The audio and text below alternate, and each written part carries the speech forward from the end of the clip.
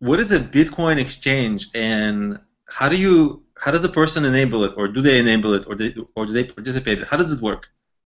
Well, it works like a stock exchange, but the difference is you're not selling. Uh, there's no IBM against dollars. It's, it's a Bitcoin uh, for dollars. So essentially, like think it like a, an eBay, okay, where you have someone selling a product and someone buying the product. eBay takes your dollars, put it into a escrow account, and wait for the person to deliver the product. Once the product gets delivered, they release the funds to the to the seller.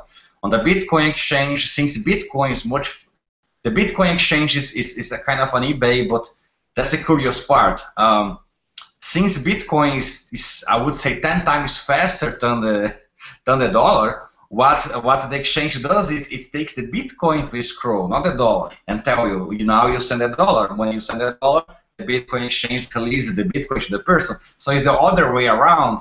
So so you can see, you know, um, uh, the speed of, of, the things in, in, a way that is is much more um, is much more efficient. I mean, Bitcoin is much more efficient than the dollar if you want to have to transmit against people. So um, essentially, that's pretty much the uh, an exchange of Bitcoin. Think think of it as like an eBay, right? Not like an, a uh, stock exchange, but more like in, into an eBay.